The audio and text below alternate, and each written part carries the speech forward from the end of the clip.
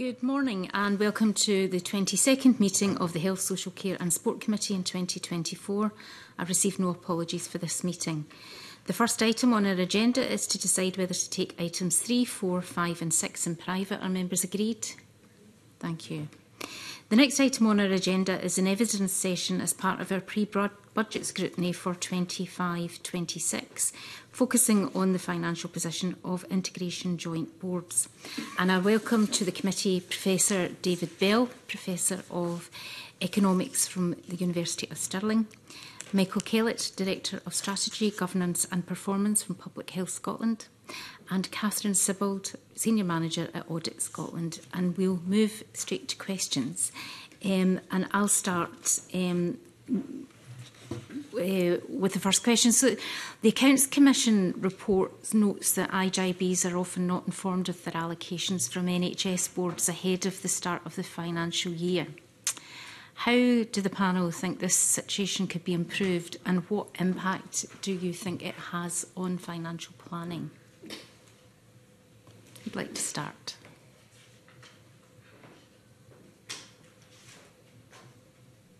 David? Uh, David? Yeah, I mean, um, certainly, uh, I think um, most of the bodies commenting on the performance of the IJBs have have uh, have argued around the need for longer term planning, uh, and uh, of course this is rendered very difficult when only one year budgeting is in force.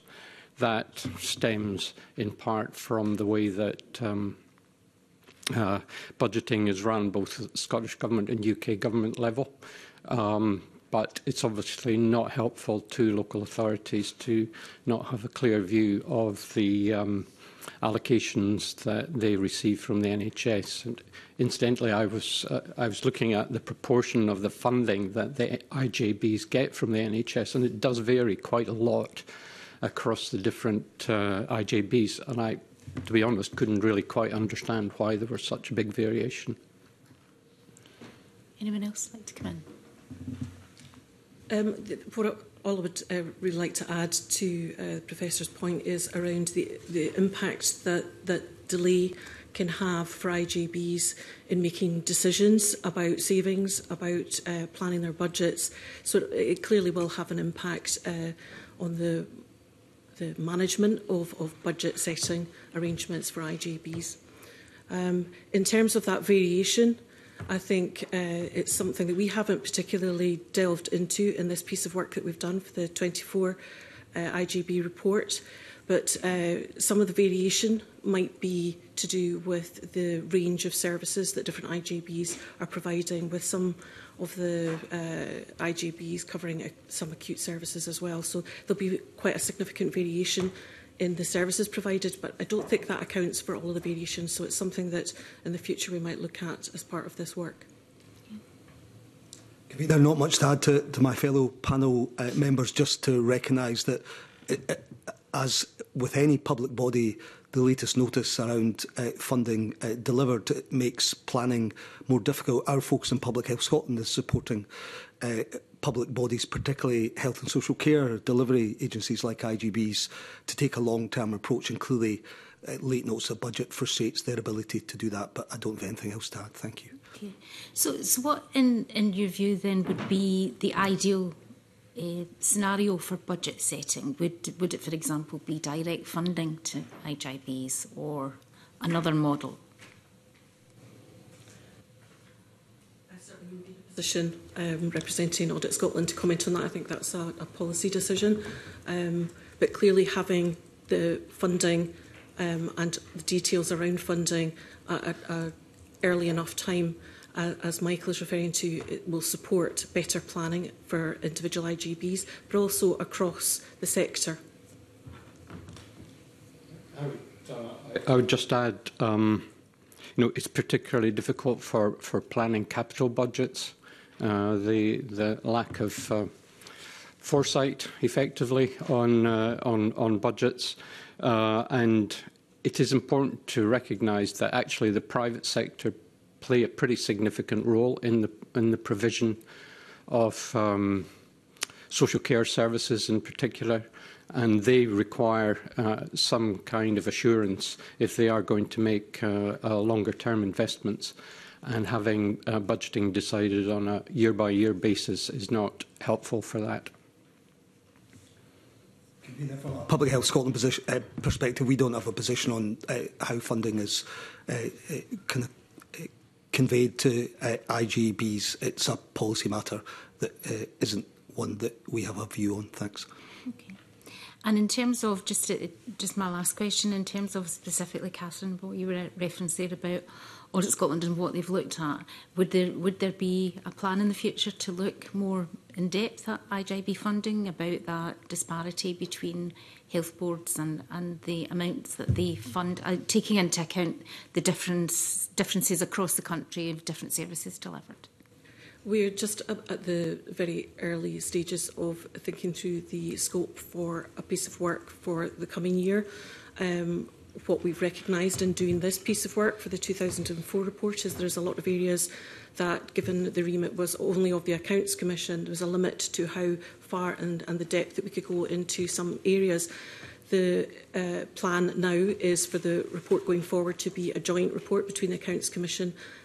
and the Auditor General for Scotland, which gives us much more scope for the areas that we can comment on. Uh, we haven't, as I say, yet scoped out the work, but we will take on board the comments of, of the committee and a wide range of stakeholders to consider what we think we should focus on in that report um, for next year. Thank you. Um, Emma Hart, uh, sorry, Emma, Emma Harper. Thanks, convener. Good morning to you all. It's kind of on the same theme about financial planning and uh, but sustainability. And I mean, and before, I, I said before I get to my, my first question, I'm just wondering, like, what the legacy of COVID is, because I think we're still recovering. So I suppose that's a simple question. Are we still recovering from the global pandemic?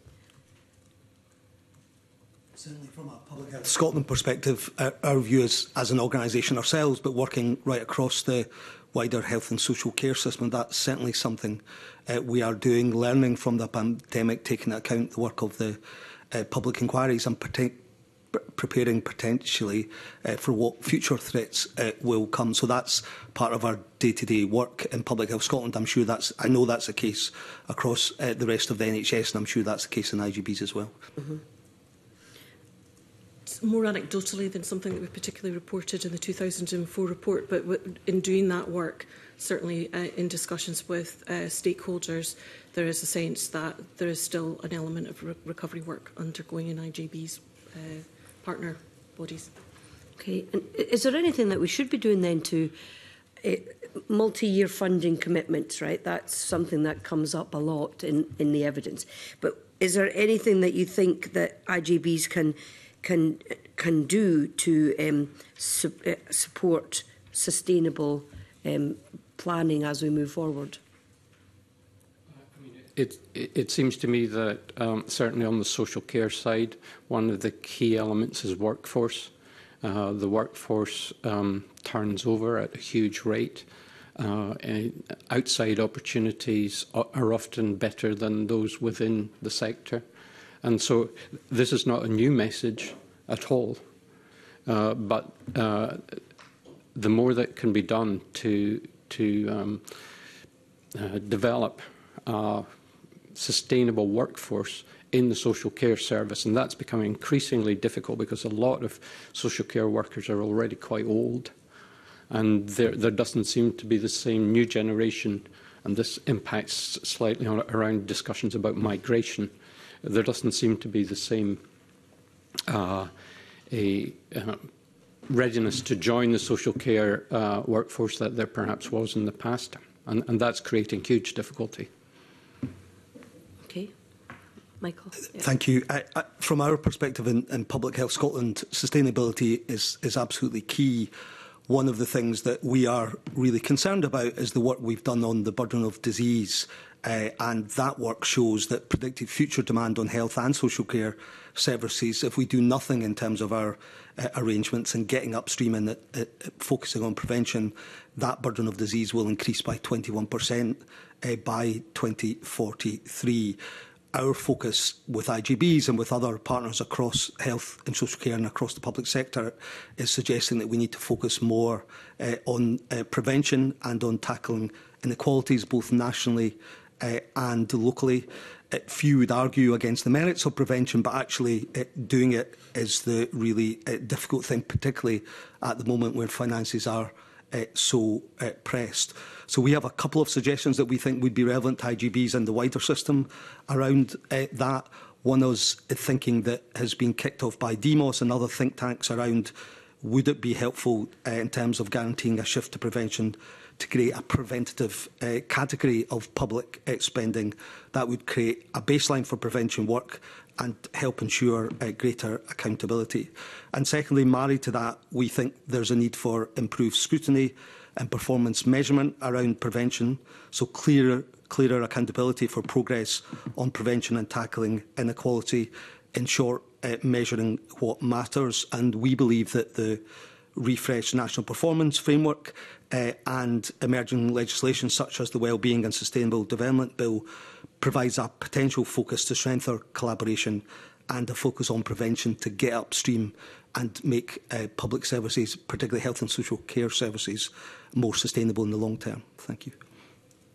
Could, could, I, could I come back in on that one? Because I, I realise I, I omitted one very important category, and that's unpaid carers. Uh, Uh, they have a huge role in providing uh, care and often unrecognised role. And, and they, uh, along with the voluntary sector, who are also important players in, the, in this regard, uh, uh, need to be sustained, need to be um, sustained in a way that they can continue to provide the valuable services that, that they do.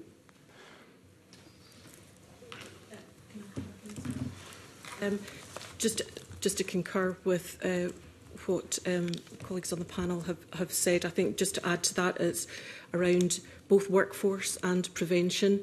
Uh, what we've tried to get across in the report is a need for a collaborative approach to learning and developing uh, national level planning around some of these areas. Um, so just to, to agree with the, panel, the, the other panel members on those issues. Okay. Can I ask one final question? Just looking at um, the submission that you made, Professor Bell, it talks about the NHS um, and the funding that goes into the boards.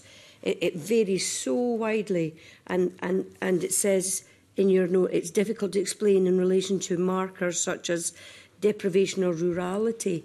So, and it looks like Dumfries and Galloway 79.4% funded by the NHS, and other areas like in eh, North East Aberdeenshire, 53.9%. So is there a way to explain why there is such a variation in the way that the IJBs are funded?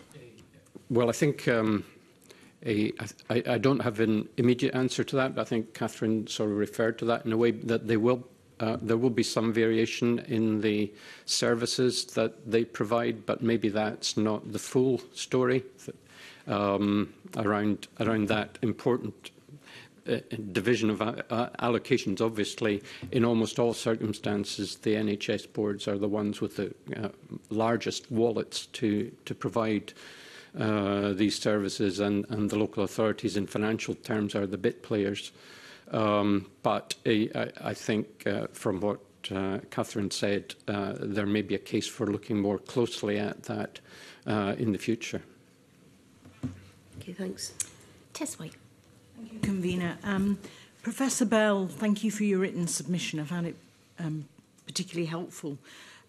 You highlight the, the Scottish Fiscal Commission's concerns over the financial impact of the Scottish Government's public sector pay assumptions.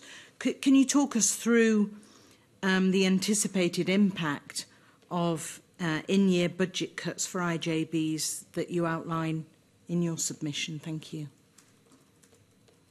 This is a Long story, um, and and also it it, it uh, there, there's a UK level um, aspect of it, and uh, it, what appears uh, to be the case is is is that possibly both the UK government and the Scottish government underestimated the increase in wages that uh, they were going to pay out uh, uh a, going forward during this financial year.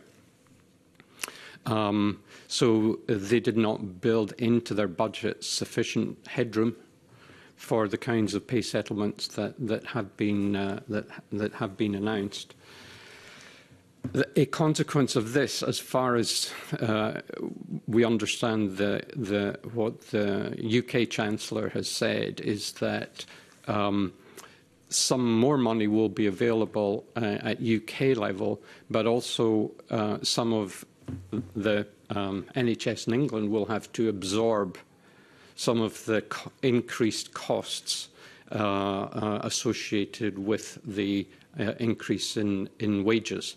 A consequence of that is that um, the NHS funding in England will not increase at the same rate as the wage increases in England. And because of that, the Barnett consequentials that will follow from this, sli this slightly lower increase than the wage increase uh, in south of the border will or is resulting in strong pressures on the on the Scottish government, which had also made perhaps uh, too optimistic Uh, uh, an assumption about what the increase in uh, in pay that in that it would need to pay in the, pay in the public's uh, sorry, in the NHS. And, and the consequence of that is that we are now confronted with a pretty difficult situation uh, in terms of maybe having to make in-year adjustments to the budget. Um, that's, that's pay and, and your view on pay. In relation to staffing, um, the writ your written submission highlights that the Scottish Government only assumes a 1% in staffing over five years from 2022, whilst uh, English NHS Workforce Plan assumes a 20 to 21% growth over the same period. So in your view, what are the implications of, the dive, of this divergence in staffing in Scotland and the underpinning assumptions? Well, so the, I mean, uh, you know, that's looking on a five-year horizon um, in terms of workforce planning. Uh, um, and obviously, um, if errors are made at the start, then maybe they can be recovered later. But it, if and all of the uh, uh, commentators um, seem to uh, suggest that there will be around 3 to 4% per annum increase in the demand for health services. And there's no massive increase in, in productivity within the health services, then the consequence of that would be that you would need to increase workforce at 3 to 4 Uh, and you know, over over five year period, that that would obviously uh, uh, build up. uh, clearly, there you know there is an issue around. Um, productivity within within the health service, and that kind of relates a, a little bit back to the earlier discussion around COVID. Uh, but uh, that's essentially, I think, what uh, what's happened. I, I, it seems to me that, assuming 1% growth uh, would, would need to be accompanied by an optimistic uh, assumption around uh, growth and productivity, and it would be uh, interesting to know what exactly, how exactly that might come about. And, and I'll just make a comment, and we're going to cover data later, but if you're talking about improving performance, almost doing uh, more with less, rather than saying there's a fundamental problem with the assumption on staffing? Yeah, well, productivity would be doing more with with the same or not much more is, is, is, is, is effectively what we're saying. And of course, we have to define what we mean by doing more. You know, what, what actually is it that we're trying to achieve uh, in terms both of our uh, NHS um, uh, and the um, and social care. And I guess that's in uh, in the national wellbeing framework that that I mentioned in the paper. So um, that's you know that's the uh, I'm, I'm sure we will come to data later, but that's the in the area that that there seems to be uh, some broad agreement that that that's where we should be uh, that's where we should be going. Just go back to you very briefly your point about pay. So he saying almost saying that it's due to the Barnett consequentials rather than the Scottish government having the levers in relation to the decisions on pay increases. Just if you could just clarify that before we move on. Well, clearly the Scottish Government negotiates itself with NHS in Scotland, so it's up to, up to it to, to make, make that decision. It will make assumptions in its budget as to what the, these outcomes might be. Um, the so it, it can do that and, and, and cut back on other services. It doesn't have to uh, uh, uh, follow whatever uh, increases are, are, are being made south of the border. Obviously, you know, uh, given that there is quite a lot of uh, cross-border movement of NHS staff, then having things massively out of kilter with, uh, with uh, those south of the border would probably um, – would potentially cause workforce problems. And before I move to Ruth McGuire, I should on record my register of interests. I hold a bank staff nurse contract with NHS Great Glasgow and Clyde. Ruth McGuire. Eh, thank you, Convener. If I can just draw attention to my register of interests, I was a um, serving North Ayrshire councillor at the time of integration in 2012 and I'm a member of the IJB. Um, good morning, panel. Thank you um, for being with us. Um, my first question is for, for Public Health Scotland, if I may, and um, you touched on it in answering my colleague Emma Harper there. Um, it's about this focus on um, prevention and the recommendations that you make. And I suppose, and um, you know, my declaration of interest there will let you know where I'm coming from. It, it feels quite strange 12 years down the line to still be talking about how we focus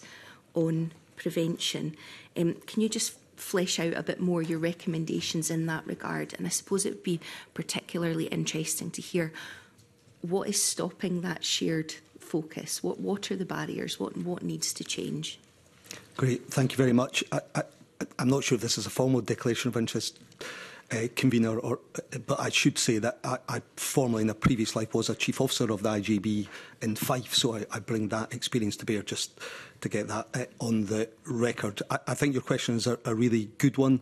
Since the Christie Commission, uh, the language around prevention uh, has been I think generally accepted in uh, public services and public uh, policy in Scotland yet we've made uh, little uh, progress uh, across the system. And The reasons for that, I think we've examined today, it's around a focus on uh, short-term funding. I think that is a real uh, challenge there around the abilities of uh, public services. Um, there's something around public services working in partnership together uh, on prevention uh, and uh, the way systems are established and reporting mechanisms mean that sometimes that shared uh, agenda is frustrated But there are examples in my experience uh, was that the Ayrshires was one of them where community planning partnerships are working really well and genuinely ad advancing uh, prevention. Uh, but one of the uh, views expressed, and it's expressed in the DEMO report I referred to earlier, is that although um, pilots and small scale preventative interventions are really important, and there's really good examples of them right across uh, Scotland in the Ayrshires and Fife where I worked and and beyond I know uh, but they themselves don't add up to a, a, a, a far enough shift towards prevention. Hence the suggestion uh, we have made uh, in our submission to you and I've made this morning around is it worth exploring whether in the same way uh, in the late 90s we moved to a, a, a split between capital and resource expenditure in, in public services across the UK is there something, is there value in thinking about a third category of public spending, so resource, capital and preventative uh, in, interventions and, and holding uh, public uh, bodies and governments uh, account for uh, that spend. So that, that's one practical suggestion that, that might be a change. Thank you. Sorry. Interrupt. Just just on that that note, I, th I think often we see one of the biggest challenges is that everyone agrees in principle that prevention's better than, than, than, than mopping up stuff, but it's always very hard to shift resource. What is it about having that category of preventative spend that, that Public Health Scotland feel might assist? I think, I think it's primarily about accountability. Okay. So we become transparent um, to uh, those who run those services, those who held them to account to the public as, as well, uh, what, what that spend is, and it could be tracked over time. So that focus on accountability that that extra category might bring. I'm not pretending it's a uh, kind of, uh, it, it would uh, be the only thing that could be done, uh, but I think that would be important. But that point about accountability and tracking a national performance framework that measured preventative intervention and supported it uh, public bodies being held to account in terms of their performance for what they're doing on prevention as well in the way that uh, it largely does not happen at the moment because the focus is so much understandably on service delivery. And I, will bring in other other panel members in a minute. Um, one of the other frustrations is around budgets not being seen as um, sort of truly integrated, if you like. They often come with a health or, or, or social care label. Um, and while it was a, a wee while ago now, one of my huge frustrations um, when I was a board member was hearing the phrase from a health perspective or from a council perspective when really the purpose is to have from a service user's perspective. What's being done or what more can be done to try and um, ensure that these budgets lose their identity as council money? um, NHS money. I think it's a very good question. It's certainly what I experienced in Fife as well, and I'm sure you'll hear for a number of chief officers later who I imagine may say that it's, it, that's still a, a challenge for them. I think that uh, genuinely whole system approach, both locally and nationally, is uh, really important. It's just one example, but one of the things we're doing in Scotland, uh, in Public Health Scotland, sorry, is working with Michael Marmot and his Institute for Health Equity uh, we are seeking to bring some of the learning from Marmot uh, places uh, north of the border, and we hope later this year to identify three areas in Scotland with which we work. And part of that focus will be on bringing the public services, voluntary sector, even the private sector as well, together in a local area uh, to think about how they pool resources to genuinely tackle some of the Marmot principles, but they're all about getting upstream and uh, supporting the health and well-being of, of the population. So that's one small uh, initiative we think there might be good learning from that just that will help uh, that sense of shared endeavour. Thank you. I don't know if other panel members want to come in. Yeah. I mean, we have talked uh, for a lot, very long time in Scotland about preventative spend. It, it certainly goes back possibly before the Christie Commission. Um, one of the difficulties that a, uh, always besets it is measuring outcomes. How do you actually measure what the effect of a preventative outcome 10 years down the line? And 10 years down the line, other things will have happened. I just published a paper along with David Blanchflower at Dartmouth and Alec Bryson at UCL on declining mental health.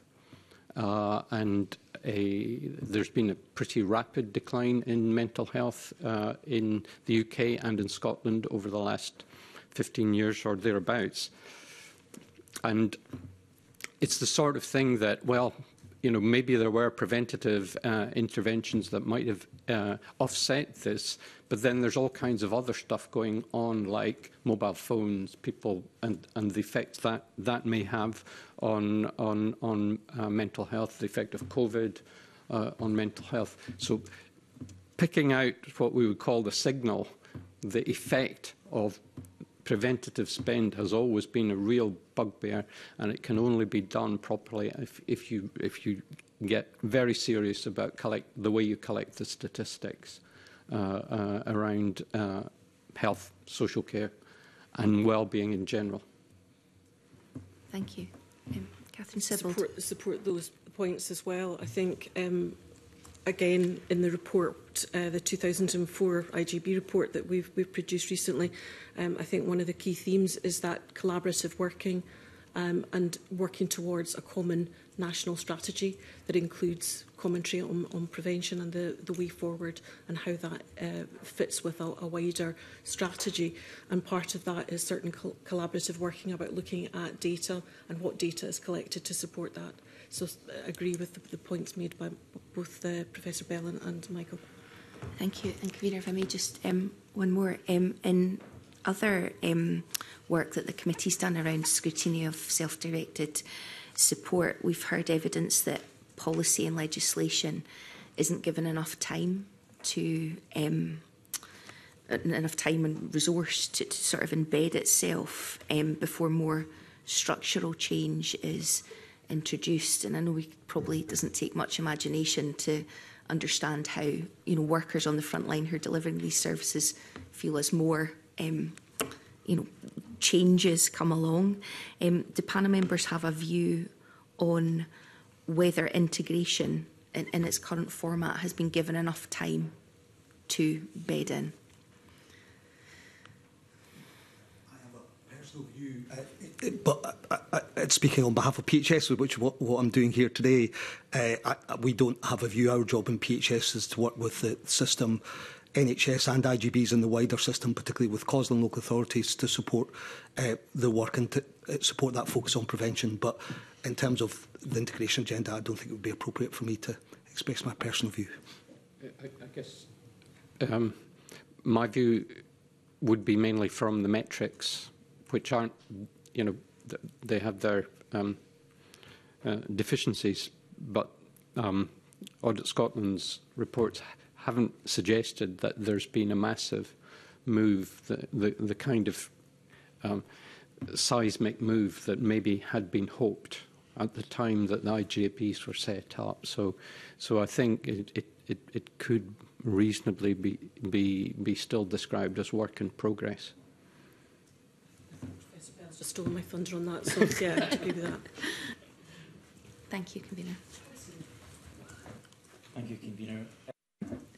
Just wanted to ask a quick question to Professor Bell. You'd, no you'd noted in your submission that the short-term decisions made by IGBs may reduce spend at the front end but can prove more expensive in the longer run in the whole system.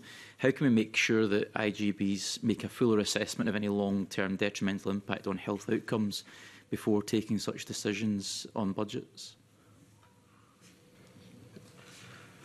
well, I, mean, I, guess there's there's a sort of organisational point, and and and and partly that might be about leadership and and having the, you know the leaders in place who understand the the uh, the um, consequence of making short-term decisions uh, and and the potential negative effect that that uh, may have on on the longer term, and uh, I'm going to steal a little bit more of Audit Scotland's thunder on this and, and say there has been, I think, too much turnover as far as uh, uh, uh as the leadership of IJB uh, has been concerned. They haven't been they haven't been that stable in terms of organisations. So there's that on the one hand, but you, I keep coming back to the fact that you have to know where you are. So you have to have the data to show Uh, that the decision that you're making in the short term will have detrimental long-term effects. You can't do that without good data. David Thomas. Morning. To simplify, streamline and coordinate governance and accountability as per Christie Commission for constructive integration and relationships between partners to develop and how might the creation of a National Care Service contribute to this goal?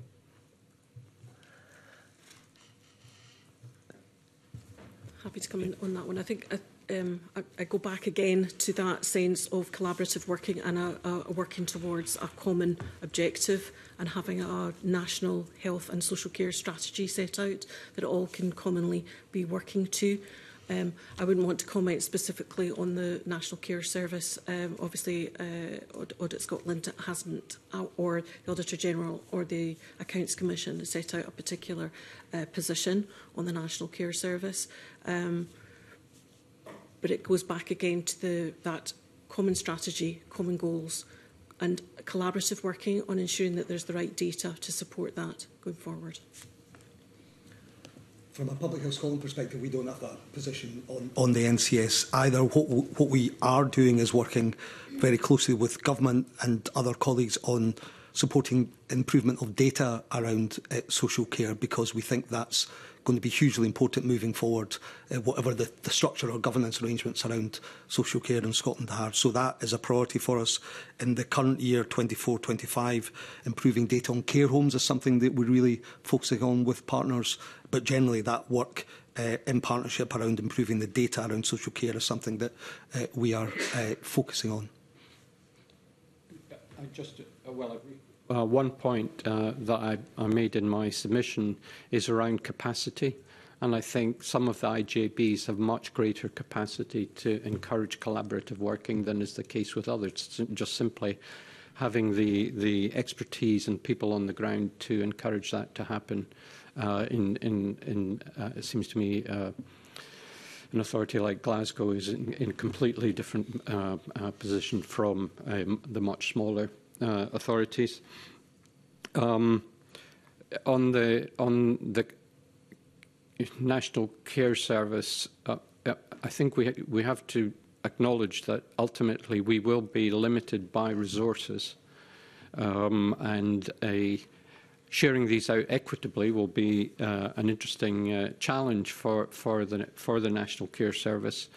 Uh, it seems to me that uh, we don't, uh, or at least I, I certainly don't have a, uh, a strong feel for the overhead that will be uh, necessary to put this organisation in place, what will be saved in terms of local authority costs, uh, Uh, because uh, you know the extent to which their their decision making power will to some extent be moved to moved to Edinburgh or wherever the NCS is is, is uh, located so I, I, I would really like to see some some uh, more information on this partly because it you know it's my view that uh, social care is, in a sense, a more complex uh, organisation than is the NHS. Quite a lot more complex because, as I said earlier, you've got a large private sector involvement, voluntary sector, unpaid carers, as well as the professional uh, professionals providing and organising social care. In preparation for a proposed national care service, what opportunities does an amendment of the Public Bodies Act offer to examine, amend and simplify the governance of IGBs?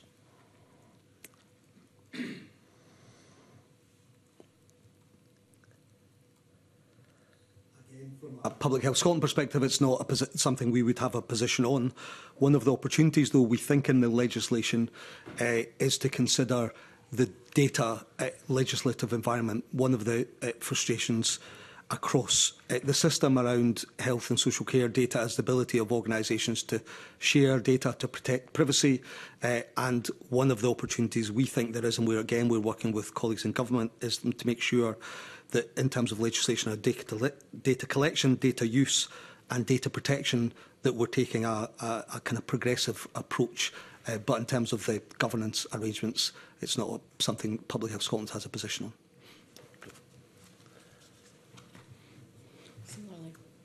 No. No. no. Okay. One final short question. Uh, Professor Bowie touched on it earlier about the high turnover of leadership uh, in IGBs. What do we need to do to stabilise that? Uh, one of the things I'm, I'm um, aware of uh, uh, uh, casually, so it, I, I, I, I can't back it up with a, with a lot of evidence, but I, I sometimes wonder if we give our uh, um, if we give enough training to the kinds of people who are uh, who are likely to have these important roles in uh, in in our IJBs or in more, even more generally across uh, uh, across the health service. Um, in terms of turnover within um, within social care, that's a perennial challenge. And it's about making people feel valued, paying them a competitive wage. And, and you know, in a way, this all goes back to, to the remarks made at the start about wages. Uh, but nevertheless, if you are going to uh, uh, have a, a successfully uh, operating workforce within social care, you have to uh, have people that are motivated, uh, well trained, who have uh, a uh, willingness or a, a desire to stay in the in the profession. I think the average stays around two years at the moment. Okay. Thanks, convener.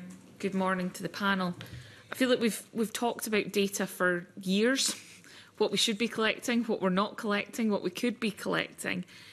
Is it actually the fact that we sometimes need to talk about different data that we need to collect rather than just simply more um, to add to and to join that up to make sure that it covers priorities across health and social care as a whole to deliver outcomes for people as a whole. How do we get there? from where we are now? What do we need to encourage IJBs and others to do to make sure that we can get to that reality where data can be used in that in that um, in that rounded way. And Michael's nodding, so I might pick on you first if that's okay. Thank you. Uh, uh very happy to, to, to start the answer to that. I, I agree with you. I think collecting the right data is, is really important. One of the uh, projects that and I'm not the data lead in our executive team in Public Health Scotland, but one of the, the uh, projects we are working on with government and with other partners, including COSA, uh, is uh, something called the Care and Wellbeing Dashboard. And that's an attempt uh, in its uh, early infancy to collect data that genuinely shows at a local and a national level progress against outcomes, going back to what Professor Bell uh, said earlier. So, a basket of measures that genuinely show not just a, a, how the system is performing in terms of service delivery, but what changes we are making in terms of outcomes. And that feels exactly the, the, the right uh, way to progress. One of the challenges there that we faced, I'm sure the committee have heard about before, is around data around primary care, given the way our uh, primary care system is, is set up in Scotland. That is a, a challenge. But again, there's a real uh, shared uh, ownership of the, the fact that we need to make progress there. So that holistic, whole system approach to data is something that certainly we are keen to play a leading part of in Public Health Scotland, but there's considerable amount of work still to do. So I, I've been involved uh, for several years with um, uh, national surveys that uh, particularly uh, focused around older people aged 50 plus. Um, a, and Michael Marmot was one of the first people involved in these uh, down in England, uh, uh called the English Longitudinal Survey of Aging. Um, and what it does is it adds to the um, direct health, um, uh, social care measurements, a lot of contextual information about what, what's the structure of the family, what's the income of the family, are they in a place where of uh, high deprivation, uh, these, these sorts of things. So I've been trying for several years with a colleague to get uh, similar survey done in Scotland. It hasn't pro proven easy, but I currently actually have a an application in, and this will surprise you, to the US government for $7 million to, uh, to uh, put such a uh, survey in place in Scotland, uh, which would have fairly elaborate health measurements involved. Yeah, just to support that point about whole system, totally agree with that, and that's certainly uh, one of the conclusions of, of the work that we've done is um, having that connectivity of the data and it being able to paint the picture of what's happening across the system um, is, is, is really important going forward. Um, given that there's a whole range of priorities and frameworks and performance metrics and all those sorts of things on on IGBs with limited resource, how how can we support IGBs to actually collect the data that is that is good and useful and can drive some of those those outcomes in that context where there are so many performance and measurement frameworks that they're having to report on and legally having to report on while as a whole system we're trying to drive that that better data when there are only so many people to do all of that work I might start one of the and it's not a complete solution to your question but one of the things we think is really important is the work of what we call our list teams, so local improvement support teams. So these are uh, analysts uh, largely who, are, who work for Public Health Scotland but are embedded in local partnership to support their gathering of data to support that whole system approach I uh, talked about uh, earlier. We think they're a really important resource. I, I think they're valued by IGB. Leads one of the, the challenges we are thinking about is could we make that information more available to the wider community planning partnership, not just the, the, the IGB, to support uh, the type of joint working we, we talked about earlier. So the list teams uh, are, we think, an important asset in improving that data landscape around uh, CPPs and IGBs in Scotland.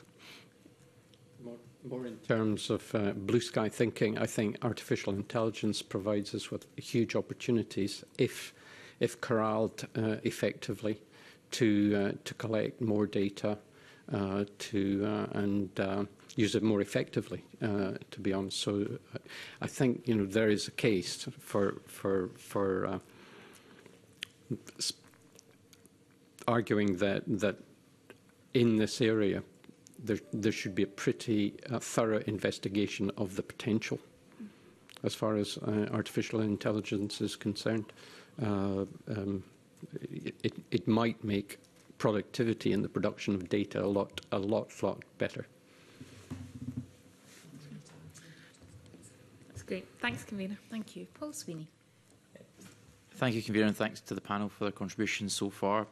I just want to turn to commissioning and procurement. Uh, what would promote a more ethical and productive um, approach to commissioning and procurement? Is it the current approach to strategic commissioning that needs to be revised, the processes themselves, or both?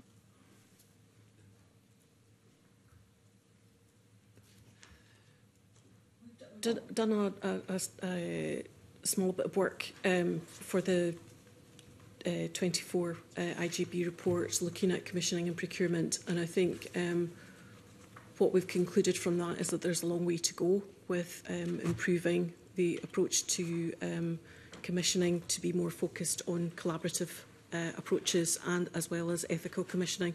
Um, and I, what, what we refer to is the Uh, areas where that's beginning, where there uh, a number of uh, the IJBs are working cl closely with uh, IRIS to start pro progressing that work. And I think it comes back to what I've, I've, referred to several times is about that collaborative working and ensuring that that message is being spread more across all of the IGBs and supporting them to take that work forward. Um, there, there's clearly a lot of work ongoing at the moment, but it's in early early uh, days for, for uh, development of that work. Hmm. Is there anyone else that has a I just mentioned uh, rural areas where commissioning, you know, uh, getting a, a market effectively is extremely difficult, and there is huge pressure uh, on workforce as far as uh, as uh, um, our more remote rural areas are concerned. Mm. That's an interesting point. There were some strong examples of innovation and effort to improve how services were commissioned and contracted in uh, the County Commission report, um, how can these efforts be further supported uh, and the pace of change improved? other practical opportunities? I'm not sure about improving the pace. I think there's um, it's about it's, it comes back to this learning from individual IGBs as that progresses, having the support network behind that that Iris is providing, um, and uh, sh reviewing and analysing improvement as, as it progresses, as the, the uh, pieces of work progress with, with the change in approach and sharing that learning across uh, the sector um, to support pace of improvement across the board. That's currently a barrier to improvement? Is that actually inhibiting opportunities for, for improvement of service delivery at the moment? Is that identified as a key blocker? Is there any other blockers or barriers that you have identified? um, that could be overcome? I think what we set out in, in the report is the challenges that the current approach creates in terms of uh, the focus on uh, finances and budget and um, providing services at, at uh, the most economic um, in the most economic way that they can rather than a focus on outcomes and um, the, the quality of services for individuals. So uh, putting those two different points together, yes, I think there is an issue there to be addressed noting the point that Professor Bell made about resource, particularly in rural areas, is that drive towards lowest cost tenders, for example, actually militating against efficiency and good quality service delivery? Is that something you've noted? Is that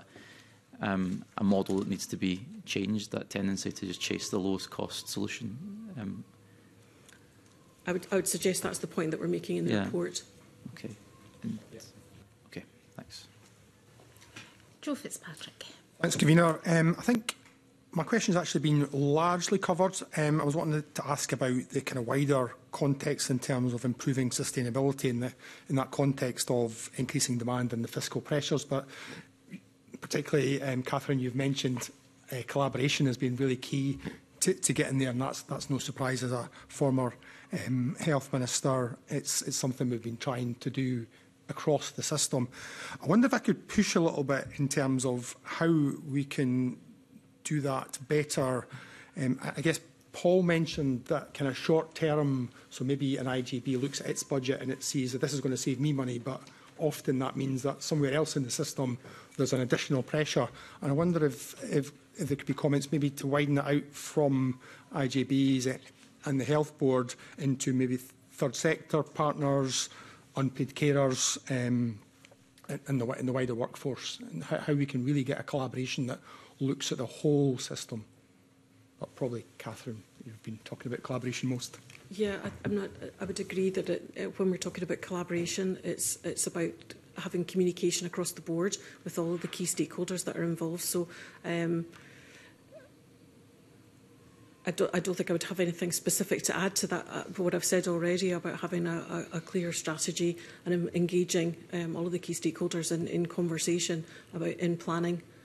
and, and throughout the stages of, of the process and in, indeed identifying what data there is and how that data can be used more efficiently too.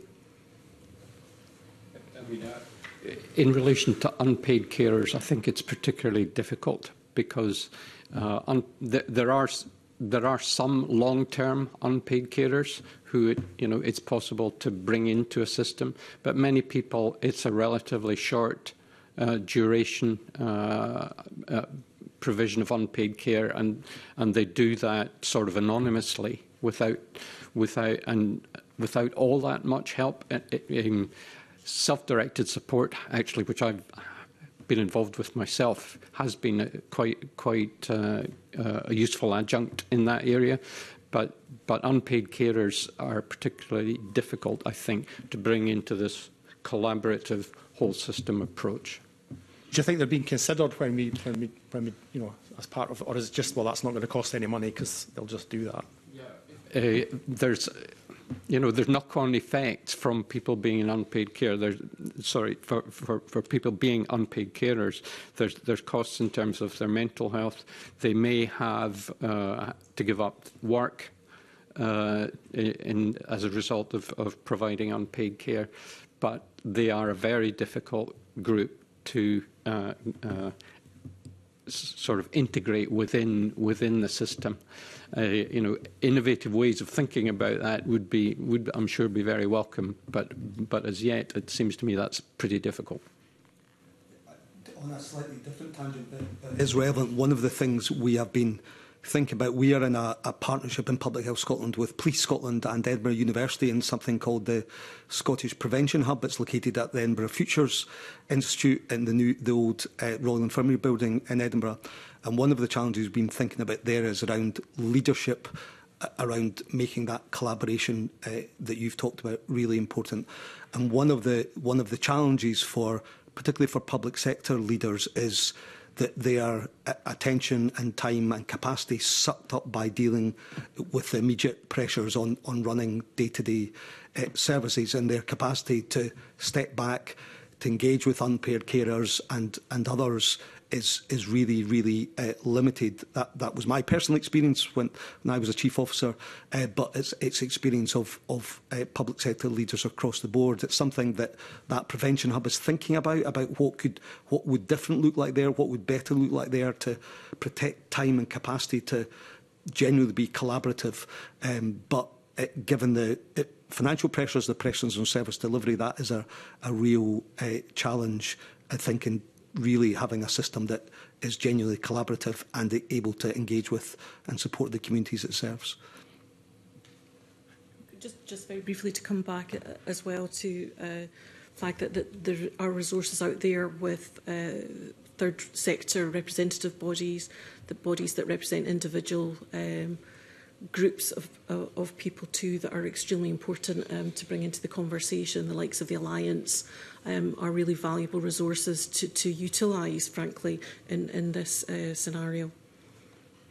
Okay.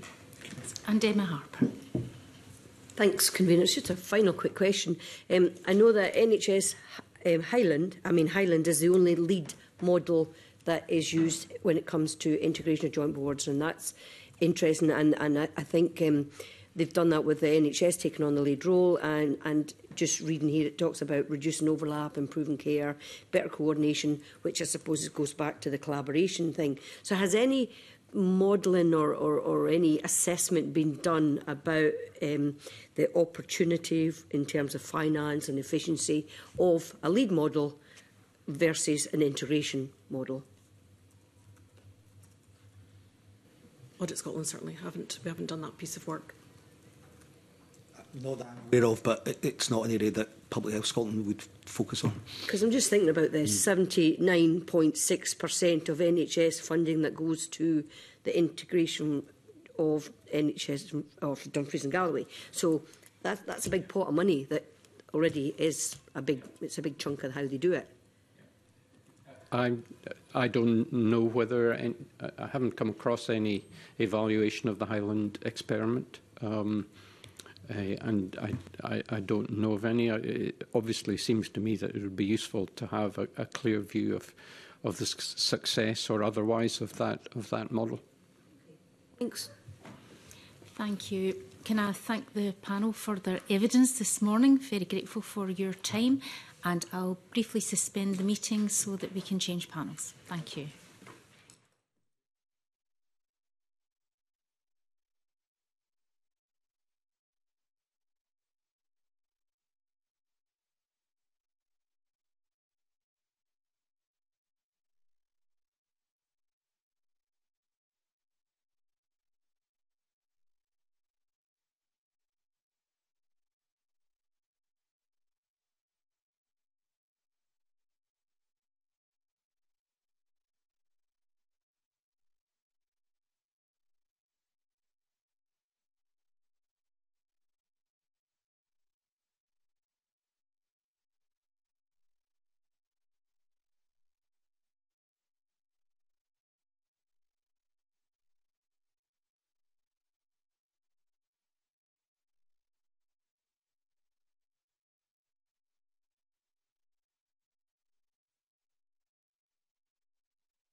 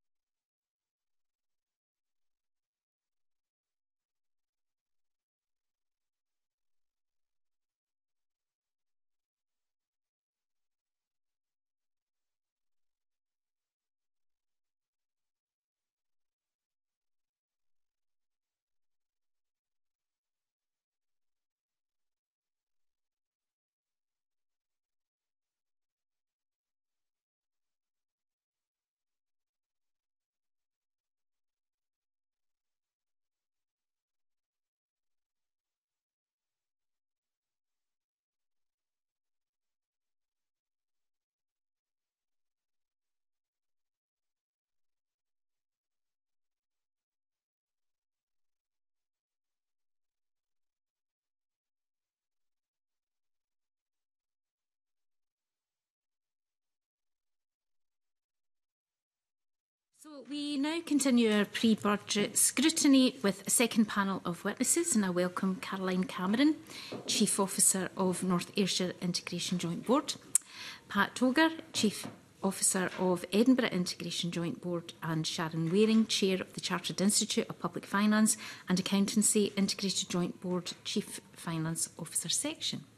Um, Professor Suman Singupta, Chief Officer of uh, South Lanarkshire Integration Joint Board is unfortunately no longer able to join us this morning. Um, and we'll move straight to questions. And Tess White. Thank you, Convener. And my first question is to Caroline, please. With the funding gap for IJBs set to triple for 23-24, it's clear that IJBs are facing an alarming financial crisis. So what's the impact of these intense budgetary pressures on the delivery of primary care services including phase two of the 2018 GMS contract, which still hasn't been delivered. Thank you.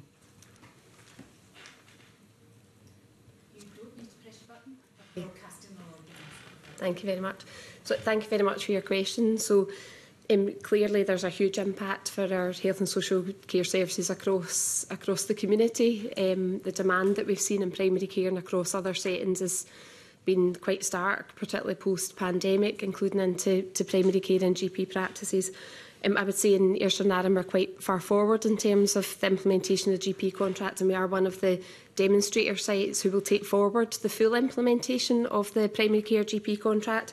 There are particularly areas um, that we've not been able to invest in due to some of the funding not flowing through and in particular some of those are for example mental health practitioners within GP practice settings that's having a significant impact on our wider community mental health services, including our community mental health teams, our specialist in mental health services as well, because actually that, that tier of support, that robust tier of support within primary care settings hasn't been fully implemented on the ground. Um, I think the impact of primary care and, and following through with the contract is really, really crucial It's a real core linchpin within our community services that supports every other part of the pathway. That is the first point of contact and port of call for individuals who are struggling in the community. And if there isn't that appropriate or, or capacity to provide that response there, it impacts on every other part of our system and services where we see that that person appear in a different part of the system because they haven't been able to get that early intervention response from their GP. So it's, it's hugely challenging and really a, a core fundamental thing that we need to address to support the wider system. Thank you. Very helpful. Um, my, my second question is for is for for Pat, please. Um, the Account Commission report highlights that IJBs are intended to shift the balance of care out of hospital – to the community.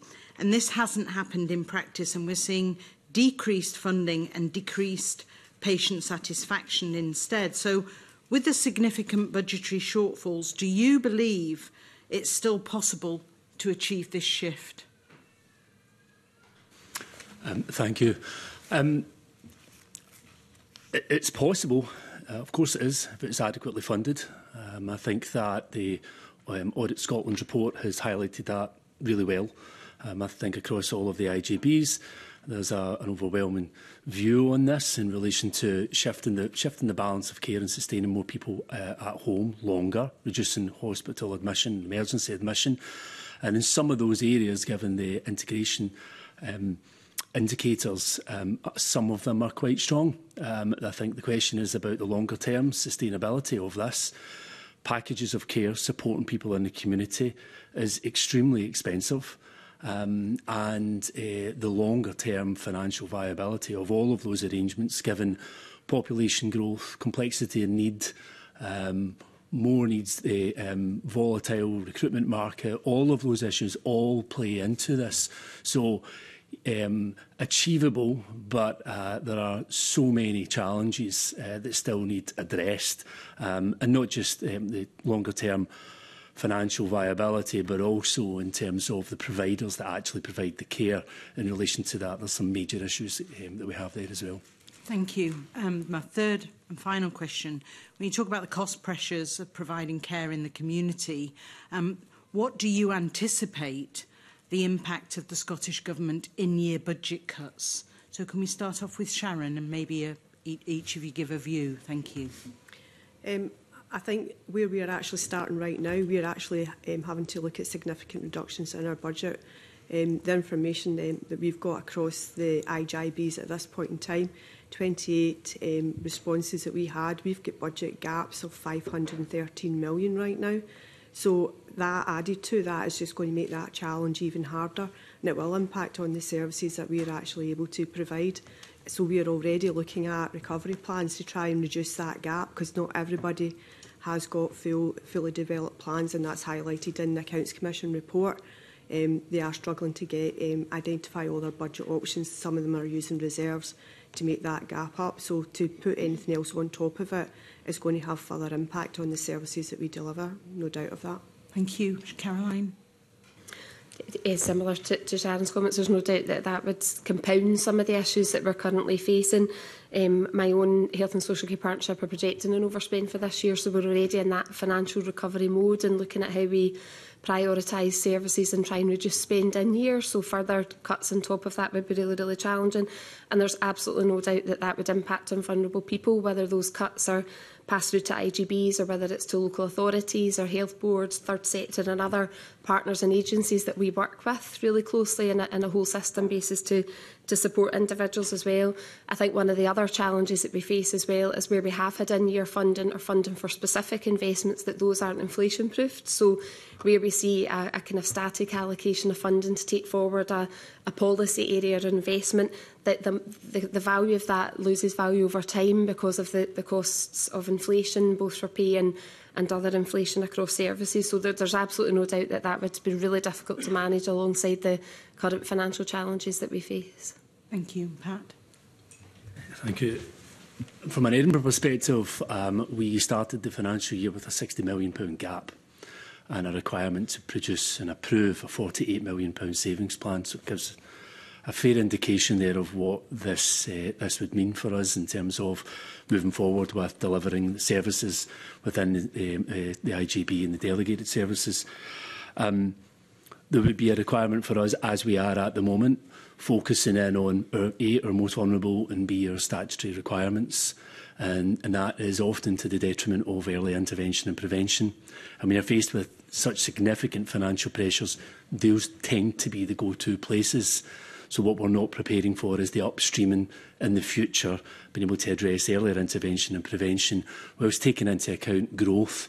And growth is varied across Scotland, dependent on whether it's about population growth or whether it's about poverty and deprivation. There's so much of a variance that exists across Scotland. So that, as well as the issues I've already mentioned in relation to recruitment and retention in a, in a city like Edinburgh, for example, play into a, a, a major challenge for us quick follow-up for Pat. Um, in terms of the voluntary sector, so the squeeze on uh, in the council run care homes, but that's having a huge knock on effect to the voluntary sector, who basically the cost of care homes is is is becoming increasing. So so could you just say a comment about that? And in fact, I say to Pat, but I notice Caroline uh, also has a nodding in relation to that. So if Pat and then Caroline and then that's me. Thank you.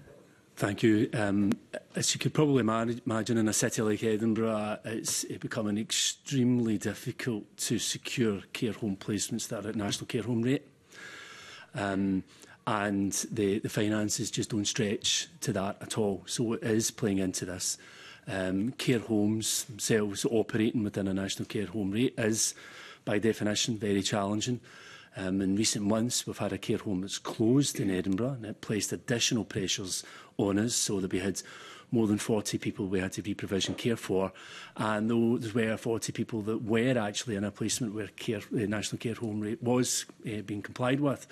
Um, so you take those that number out of the system, you're left with additional financial pressures terms of the care at home provision, it's a particularly volatile market as well, given where we are financially. And the cost of living crisis, for example, plays into that. And the cost of living, for example, living in a city like Edinburgh as well, plays into this. But an average package of care, for example, um, is not to be underestimated. It's considerable um, in, in Edinburgh. It's about 30k. Uh, a care home per week's about £1,200. So all of this with a population growth, and a population growth in Edinburgh alone um, is estimated to increase by about 30% between now and 2030 in adults, and that's particularly pronounced in the over 80s population, where it's as high as 40% of an increase. So major challenges. Thank you.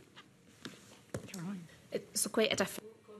North Ayrshire, so, so we don't have the same challenges around, I suppose, competing for care home places with, with residents that are self-funding. We have a very different uh, demographic profile. We have one care home which we operate in-house, which is on the island of Arran, and that's because from an economies of scale and cost point of view, it wouldn't, it wouldn't be an attractive proposition for an independent care home provider to operate in Ireland.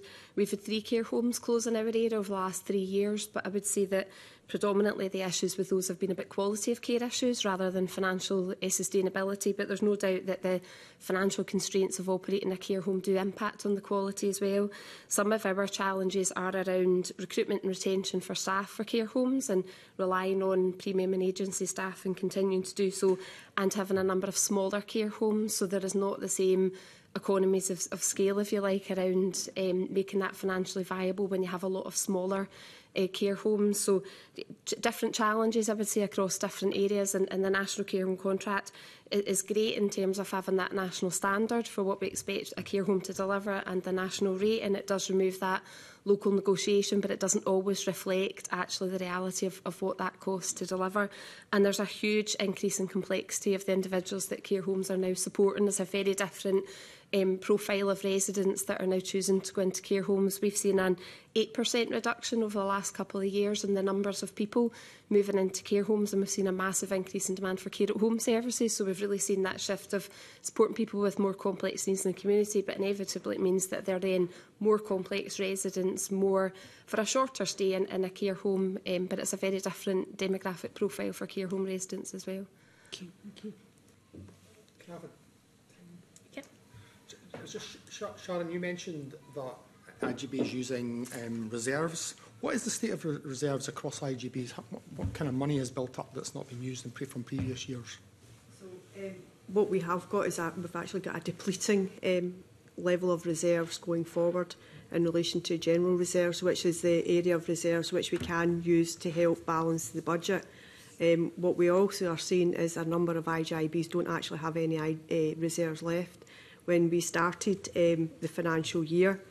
Um, after setting the budget, there was 13 of the IGIDs had no general reserves left, and we are estimating by the end of this financial year there'll be 15 that don't have any general reserves. That's half of the IGIBs that can hold general reserves won't have any left.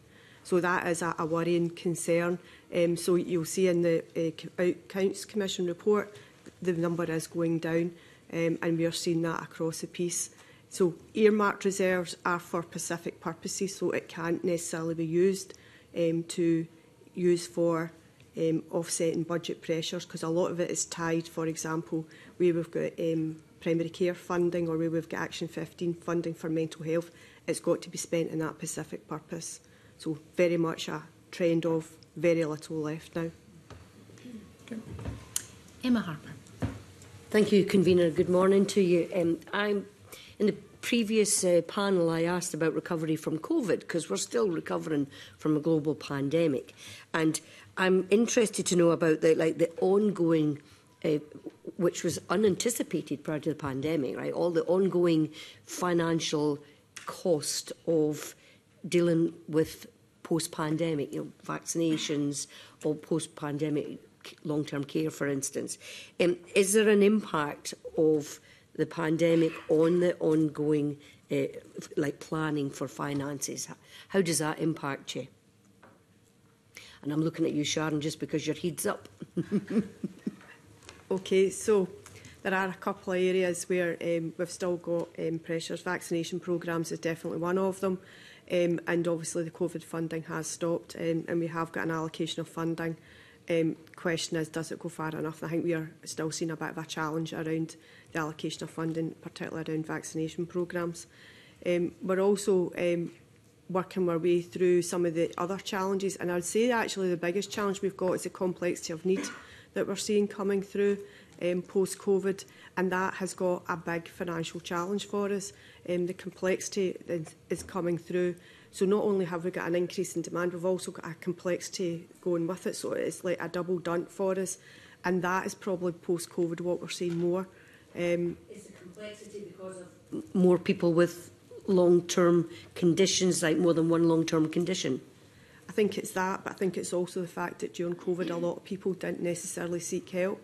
And after COVID, you're seeing a lot more people coming forward who maybe didn't come forward at that point of time, which means that their needs are higher, they're more complex, um, and they need more services. But we're seeing it right across the piece, including in mental health services, as a big increase not just in the number of people coming forward, but also the complexity around services. And that has got a significant financial challenge um, across the board for all of us right now. And so you mentioned, Caroline mentioned mental health in your uh, uh, first response, and uh, and that it, obviously some of the funding for many of the programs is is like one time initial annual. In terms of sustainability, what would be um, a different approach to uh, to supporting tackling issues around, say, like mental health as an example? things that we have asked for is that we see more uh, recurring funding built into our baseline budgets. Um, we just now we get an awful lot of funding, particularly on the health side, that come through each year. Um, there's quite a few of them actually. We don't actually have our funding allocation letters yet for. Um, we've got some of the bigger areas. But um, when you're getting an annual allocation like that, it's very hard to go and recruit staff on a recurring basis, not knowing what your future year's funding is going to be. There's also challenges around pay uplifts and what that's going to mean. The last couple of years we did, but in the early years we didn't actually get pay uplifts in these levels of funding. So for us, some security around direct allocations where possible, um, and we know that's a changing picture um, going forward. However, baselining of funding and some confirmation about what future levels of funding are going to be so that we can have that security when we're going out to recruit staff. Very hard to employ staff right now. You need to employ them on a permanent basis. And if you've not got security of funding, it's a real risk for us. Thanks. Bruce McGuire. Thank you, Convener. Um, further to my declaration of interest with the first panel, um, I should probably just for clarity say that um, although um, the Chief Officer from the IJB in my area is here, we didn't haven't worked together, although we absolutely will have corresponded um, about constituency stuff. Um, I've questions around performance and shifting the balance of um, care and outcomes. Um, I think we all appreciate the, the, the really challenging situation in terms of diminishing funds and, and increasing um, demand. The data that is held doesn't show any marked shift in the balance of care, which was one of the main integration um, aims of integration. Are there structural changes that need to take place to help that shift that balance? Um, And further to that, um, what's being done or what more can be done to try and ensure, ensure that budgets lose their identity and are truly integrated. Um, I mentioned to the first panel that one of my great frustrations when I was on the IJB was hearing the phrase from a health perspective or from a council perspective when I know all of us want to talk about from our neighbour's perspective or our granny's perspective or the person who needs the services. So, a couple of questions in there to start with. Sharon, are you open to? Do the last one and okay. I'll leave uh, Caroline and Pat to do the other bit of it. Budgets lose its identity. Well, that's been a name right from the start. However, while we are working in two ledgers, one from the council and one from the health board, it will never lose its identity. So actually, um, to get, and, and I've said this previously to a committee as well, um, for to get that um, true integration of the budget, it needs to be done in one ledger. Um, it, it can't be done on two because what happens is our performance in relation to health but is reported in through health and comes up through Scottish Government reported that way. And the same for the social work bit is reported in through the council. So to actually achieve that, It needs to be a completely different approach where we're all working on one ledger and the budget is all in one ledger to allow that um, budget to lose its identity. Right, well, while, while we're, we're on that specific, the Public Health Scotland talked this morning about um, having a new category of spending in terms of a preventative spending category in the same way that we have in um, capital and and uh, revenue. Would you have a view on the helpfulness of that or otherwise? Um, We do a lot of preventative spend right now, and we can capture some of that information. We can't capture all of it, but we do capture a lot of it. Um, I think part of the challenges is some of our services do more than one purpose. So to have a separate category, you won't necessarily capture everything that's there. It's similar to carers, and we've had this discussion about carers. So where it's carers only, yes, but where you've got services that go to carers and an individual, it's not easy to capture that information separately, and we're not good at pulling out that separation of reporting. So my view at this stage would be I don't necessarily see the benefit of it. I think it's more important for trying to do this that we actually capture the spend in one ledger to try and get that loss of identity and allow those shifts to happen easier to that preventative end of spend. Thank you. Pat? Yeah, uh, thank you. Um, In terms of the first point about the uh, the kind of financial um, changes or structural changes that you were describing there, I would completely agree. I think um, there's some reflections to be had given where we are now with integration eight years uh, down the line with this. Um, and I think that there's some reflections on exactly just how it's been applied, how it's interpreted, and the language that's used. And often this language is not particularly helpful. So, yes, as Sharon had said, the budget loses its sense of identity. But when you're faced with the financial pressures that we're faced with at the moment, there then becomes that question about an overspend at the end of the financial year. And we've not quite reconciled that consistently and consistently across Scotland. And I think that's definitely something that structurally we could address and we could be looking to really genuinely tighten up. was taking some stock here and some reflection on where have we came from in the last eight years. Um, In relation to the preventative spend um, part of the question, um, I, I, what I would say to that is that prevention by definition is often difficult to determine precisely what it is. There are a lot of services, including internal services, including third sector services, who will categorise their intervention as early intervention and prevention, for example. But I think what really needs to be running through the middle of that is a, a strong evidence based and a consistency about what that is. So I, I agree with a, if there was a, a specific funding arrangement for that, but it would, it would need to be there would need to be a consistent interpretation about what exactly it's for by way of uh, uh, prevention and early intervention. And also what we do have at the moment, as I touched on earlier on, we have a budget where we are constantly offsetting prevention and early intervention for core statutory duties, for example. Um, and we are very, very dependent on that approach.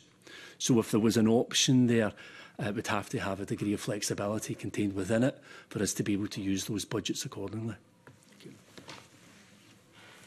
So, so similar, I think the progress around making the money lose its identity is maybe going back the way somewhat because of the financial pressures that we face. And I, I guess part of that is, is just the risk exposure to the local authorities and the health boards and and clearly being accountable for the resource that they're putting into the system and wanting to see what's delivered with that and then being exposed to the, the financial risk when there's an over or underspend from health or social uh, care services. So it's really difficult to I suppose, be at the middle of trying to coordinate that in a way that we plan so that the money does lose its identity and we spend it in the best possible way when, when both partners are clearly exposed to different risks around that.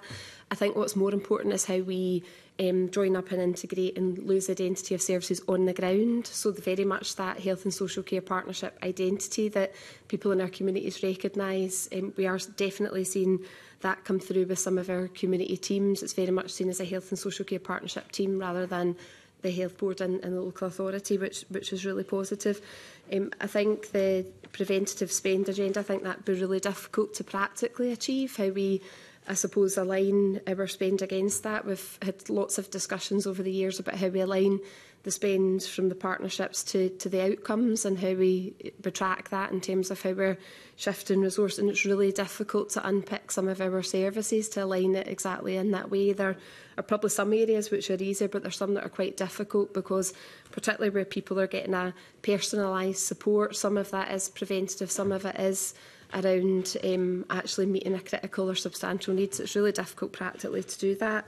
Um, I think in terms of progress with shifting the balance of care, I think we often think of that only just around the acute hospitals and how we are shifting the acute activity and moving that within the community. And I think there's lots of, whilst that's been really, really challenging, I think the pandemic obviously had a huge impact on, on our hospitals and they haven't recovered. So in our own system, there still are um, lots of um, additional open beds within acute hospitals that haven't been able to close at an additional cost. It's really difficult to see where we will be in a position to resource transfer into the community. But I think where we've been more successful around shifting the balance of care and improving outcomes is, is across other services. So for example, our mental health and learning disability services. So we have significantly reduce the number of hospital beds that we have for mental health and learning disabilities and re-providing support within the community. So in North Ayrshire, my own area, we've worked really closely with housing around supported accommodation models to provide um, independent living environments within the community for people that were in hospital for a long period of time.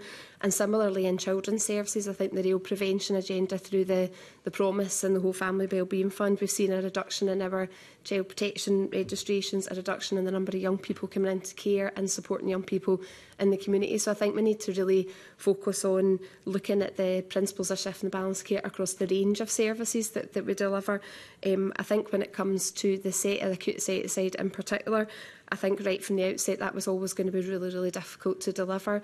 I understand the principle of it and absolute there's merit in it, but there wasn't the investment that came along with that to, to double run, if you like, and pump Premier Community Services to allow that shift to be facilitated right at the, the outset of integration. And as I described, it feels really difficult now to achieve that just with how pressured the acute hospital eh, settings are. Thank you. Um, I heard um, from from you, all of you this morning, and I think we would all understand that that when pressures come in, you know, resource gets put to what you're legally obliged to do, and and, and those most in need. Um, some would see, and I think particularly. Um, I uh, met with a number of third sector organisations who have special interest in you know various conditions and, and would see ring fencing of funding as being protective um, of, of certain services. Can you talk to what impact ring, ring fencing has on reforming services and I suppose also on responding to local needs that will be quite different between uh, North Ayrshire, for example, and, and Edinburgh City? experience ring fencing fund and before it's been to deliver a specific strategy or priority. So one of the, the particular areas that's been really positive is the ring fence resource we've had for more specialist mental health services, so CAMS, psychological therapies and those services. And, and that's been really positive in terms of being really, really be able to focus investment in those areas. And I think probably gave more confidence around a recurring investment and being able to deliver improved performance. So that there's definitely a place for ring fencing that can deliver real positive focused efforts to improve performance. I think the challenge comes where at uh, a local area we receive ring fencing for a number of, of different things and they don't necessarily all align with if we actually had a, a pot of resource for investment on local priorities, those might be slightly different to how that ring fencing funding comes through. And I think the real challenge is whilst we see ring fencing and any additional resource is really positive, it's really difficult to join that up when we're cutting services in other areas and how we manage that really carefully so that we're not um, creating a, a gold star service through a ring-fenced opportunity, actually we're we're not being able to prioritise other really important priorities locally. So there is definitely a place for that, but I think it really needs to be really carefully managed and considered alongside our local priorities as well. Um, um, very similar um, position having managed services where um, funding has been ring-fenced and for example justice services funding that's been ring-fenced for uh, Ukraine and um, Uh, as well, and um, an overall can be seen as really quite effective. But it, uh, but given where we are now financially, it cannot, just as Caroline touched on there, it cannot be to the detriment of the other services where it's not, for example, ring fenced, and that would be my only caveat. Okay. I would like to see some direct funding coming into the IGIs, but I'd like to see that flexibility so that IGIBs can actually determine locally what it is they need to prioritise in relation to services for me, that's, that is key. Um, we need to get, look at what our community's needs are. And as I said, we need to deal with the pressures are there just now. So that would be the priority from our like Convener Eva. I mean, we um, the committee's undertaken um, scrutiny into self-directed support, and um, one of the things that we we've heard quite consistency is consistently is that policy and legislation isn't really given time to bed in before the next change comes along. And I think that was particularly loud and clear from um, sort of frontline workers. Um, to what extent does integration simply need more time to bed in? Um, or are there different performance indicators that are required to measure the impact of changes that are happening and underway? Yep. Thank you. Um, so I would completely, I would completely agree with the question. I think it's a really valid one. I think that we haven't allowed um, integration to properly bed in. I think the research recently from Celsius confirmed that it was relatively inconclusive right now. I think there's some exceptional examples of integration that exist across Scotland, um, certainly in the IGBs and the health and social care partnerships that I've personally worked in. There's some fantastic examples that we can draw upon. But I think in terms of integration itself, it clearly needs more time. Um, you know, given since since 2016 we also had the COVID pandemic at the same time, and it just feels like we're not given a proper chance, if you like, to breathe um, in that regard. So. Um, the other thing that I would say is that just in relation to policy and legislation and you know, when you touched on it there in terms of the question, I think there are examples of policy and legislation that has been introduced in the last eight years or so uh, that has not been adequately funded long term. And I think that is uh, now really playing into a really, I mean, a fairly chronic financial picture here. But I think where there are decisions around policy, changes to policy, and certainly changes to legislation, and those increased legislative responsibilities, it needs to be carefully considered and thought through about what is the, the short term and the longer term costs. um, I, I think we're in real danger of um, creating a huge amount of disruption um, and I'm not necessarily seeing what benefits is going to come with it.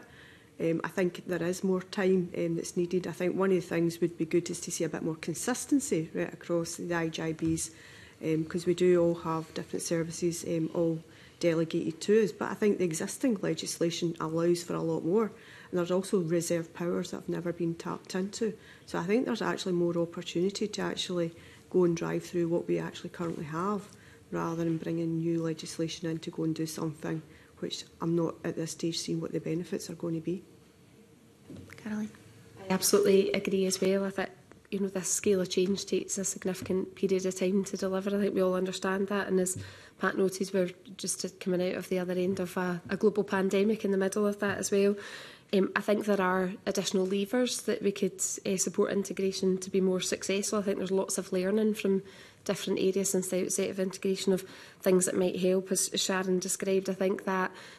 complexity of the services that are within uh, different IGBs, having different delegations, um, there could be improvements around that.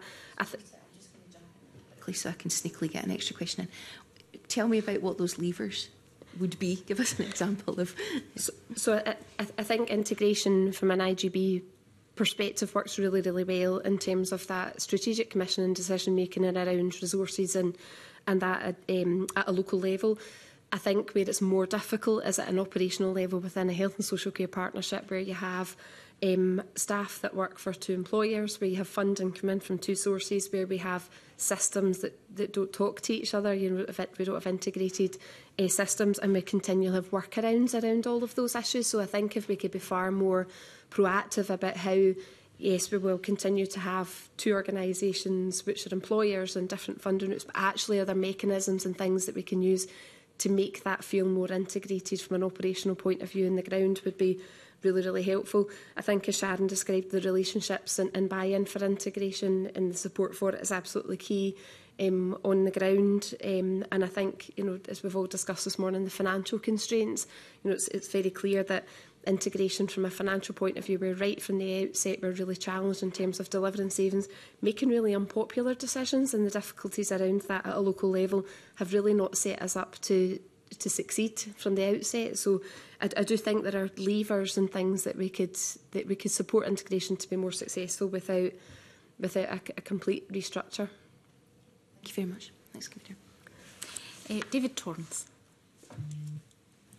Thank you, Convener. Good morning to panel members. Um, what obstacles do IJBs face in seeking to place binding direction on their partners and to settle on shared priorities for their communities?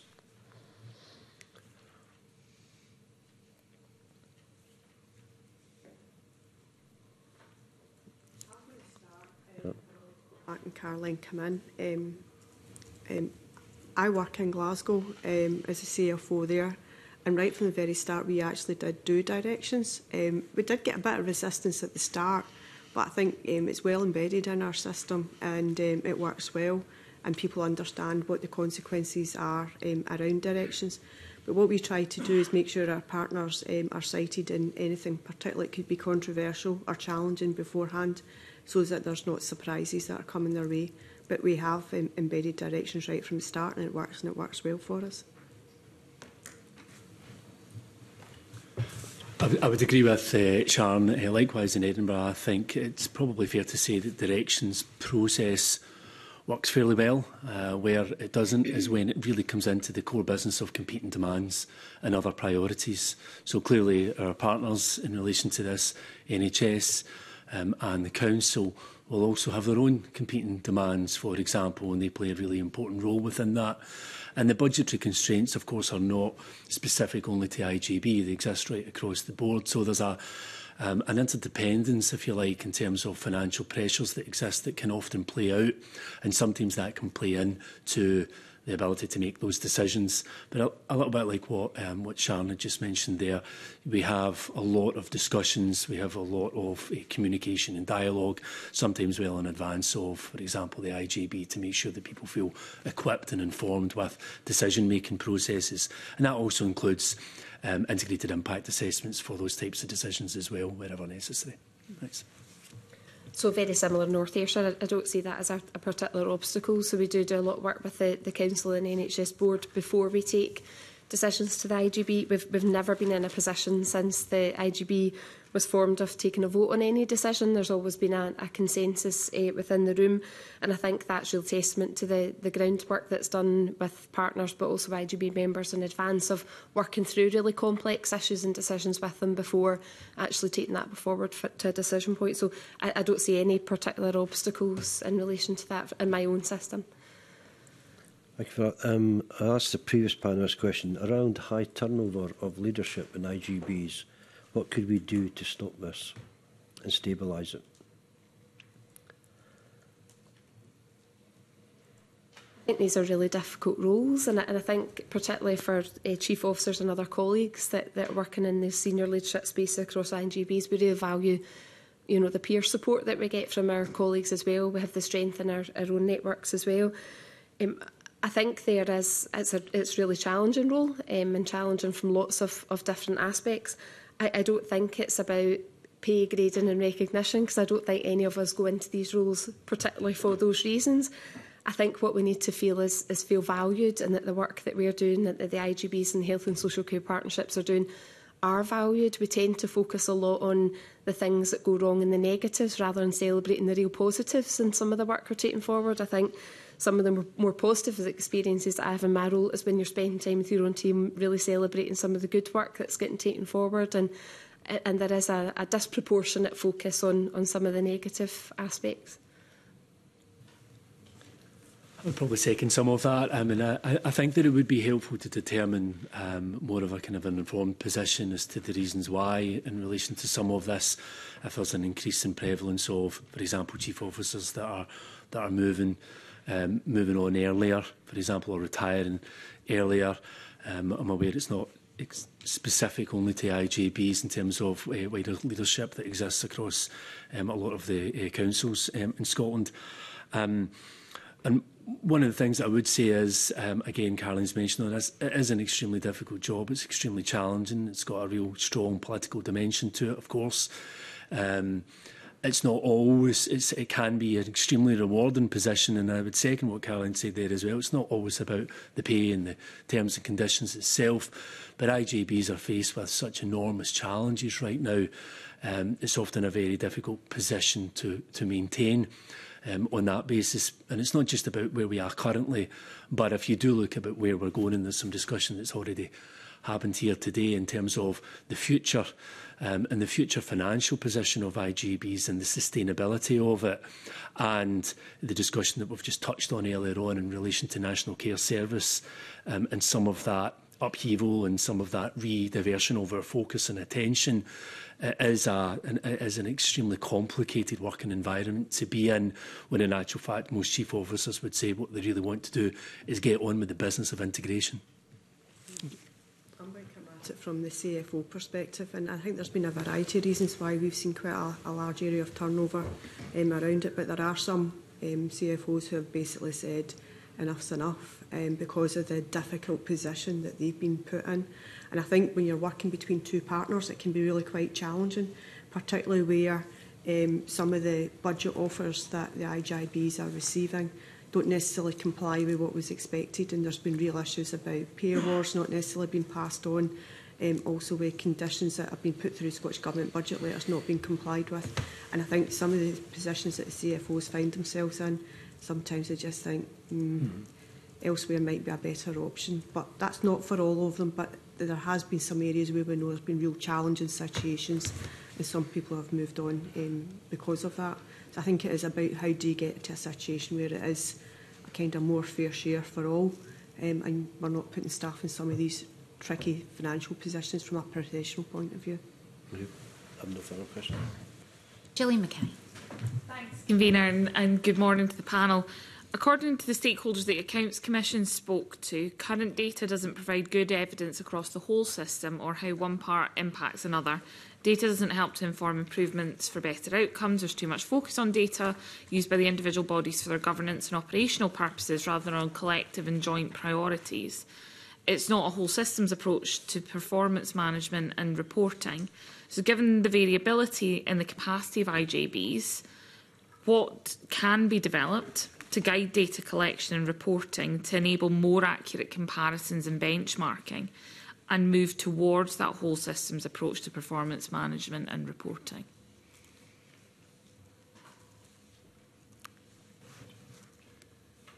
Pat, on you. okay, thank you. Um, I would agree. I think that the consistency in reporting, depending on what it is that we're reporting on, is um, varied. I would go as far as to say sometimes it does feel um, unfair in, in some circumstances, simply because the data that we report on and how we report uh, does not necessarily take into account the real genuine complexity and the variables that exists across the whole of Scotland. So we touched on it earlier. For example, it doesn't really genuinely reflect a true account of where IGBs are sitting, for example, with the unique challenges that they face. And I don't think the data reporting does that um, really at the moment. So it doesn't draw on specific challenges associated with poverty and deprivation, SIMD 1 and 2, for example, or more rural areas in terms of recruitment challenges, um, services that are delegated and services that are not delegated. I think homelessness is probably a very good example. There's only two IGBs in all of Scotland that has homelessness delegated to them. However, all of the IJBs in one way or another are probably affected by homelessness, given um, addiction and mental health issues um, are, are fairly prevalent in a transient homelessness population, for example.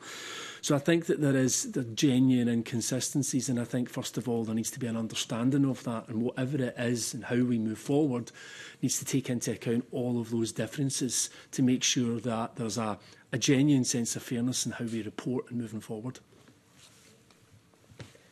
I would say there's lots and lots of data, and it's, we're almost overwhelmed with data. Um, and I think it's really key that we focus on measuring the right things that are, mm-hmm. that are telling us how the system's working. I think there's also um, a tendency to look back the way around historical data rather than really proactively using that for for future planning.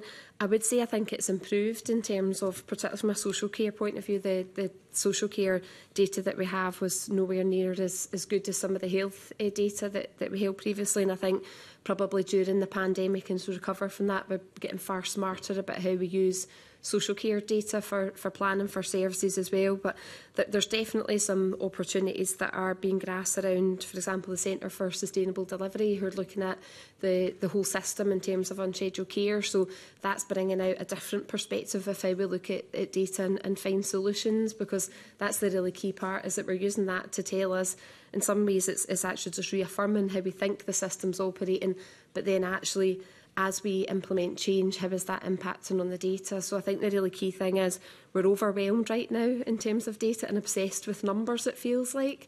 Um, so I think focusing on the key areas and actually more forward planning about the improvement trajectories that we can attach to that as well. So we heard in the in the last panel particularly about list analysts within IJBs. Is that something that, the your IJBs have and what are they what are they adding in terms of value to to the IJBs and what other what other measures could be put in place to to support IJBs with that um, data gathering given the the range of performance management frameworks and things that that IGBs have to have to contribute to, and how do we get that shift to recording the right things, and the right things for to to integrate to integrate across the the whole piece. But given what Pat said about different IGBs having different things, how we don't overcomplicate it for the IGBs who do or don't have some of these things delegated. Caroline and I, th I don't think the point around delegation necessarily needs to drive what we measure because mm -hmm. um, you know it's, it's whole system and even you know some of the data and the measures that we're measuring we don't have full control over those we're working with a range of full system partners around that. Um, so we do have list analysts who are aligned to each of the partnerships. our list analyst, for example, prepares our strategic needs assessment that really drives forward our strategic plan and measuring performance against that. There's been lots of discussions uh, more recently about how we take that to the next stage, particularly around joining up some of our social care and health data for individuals to get a real understanding, particularly around the hospital pressures of what has been the journey or pathway for a patient before they've become in that point of admission and then post post uh, discharge from hospital as well. So I think there's a really key role that they could um, support us with, which is about said how we join up our social care and health data so we get a whole picture of individuals. Um, I think some of the other uh, focus work in public health around prevention. So how do we particularly with areas um, with high levels of um, poverty and deprivation, how do we really target the the finite resources that we've got against those that are most vulnerable at need. So how do we use some of the information data we hold to really target resources around those individuals? There's lots of opportunities. I think there's lots of really exciting opportunities that have been um, explored as well by the, the Digital Health Innovation Centre as well. And I know they're working with a few areas around piloting in um, some work Mori and, and some other areas been work around that as well. So there's there's good opportunities to use the technology uh, and grasp that data alongside. Um, just um, briefly to, to add to that, um, I mean, in, in Edinburgh we're going through a transition just now and we're changing our system um, to make it more up to date and make it much more contemporary. The approach that we are seeking to adopt will be much more digitally enabled decision making, which um, I think should really allow us to redesign services much better, much more informed, take into account um, what it is that's specifically delegated to us and how we can actually redesign that and moving forward um, so that it's a much more informed position and there's a stronger evidence base attached to it. So that's, that's where we are just now. Actually, one of the things, um, and we do have less analysts locally, but actually one of the opportunities I think we all recognise is we really need our IT systems to talk to each other.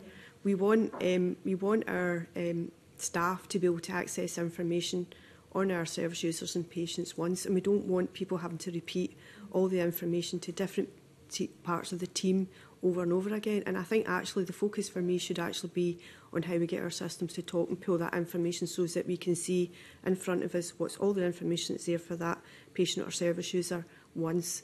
And I think there is a lot of technology that allows us to do it. And I think we would actually be better doing it collectively rather than trying to all do it individually. So I think there's scope there to make a significant improvements and that to me should be a focus. Yep, absolutely agree. Thanks, Kamina. Paul Sweeney.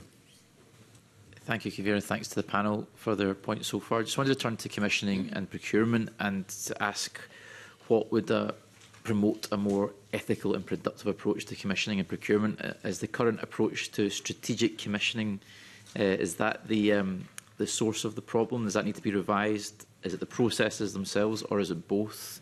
Um, perhaps invite the, the IGB leads to offer their thoughts.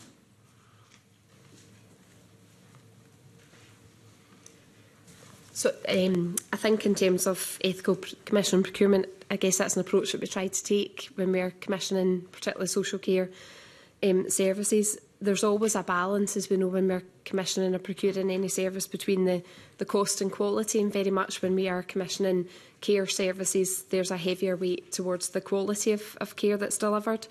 Um, I think in terms of how we can further promote that, it's, it's working with our commission providers, particularly around the fair work agenda, how they are supporting their workforce. That is their key challenges around recruitment and retention, making sure that they're appropriately um, paid in line with the Scottish Living Wage and that that's passed through to the workforce, that they are getting support with training and, and meeting their needs as well. So we, we took the decision in North Ayrshire, particularly around our uh, care at home service, to bring all of our care at home service in-house and that was um, finally completed earlier this year, and that was on the basis of fragility um, within the market, about inequity of access for individuals to support and really wanting to proactively um, control, I suppose, our, our care at home um, services. So we, we still have a range of other providers that we work with across a number of other services, including supports for adult and community care homes and, and other providers. So I, th I think there's probably still lots of work that we can take forward to really promote that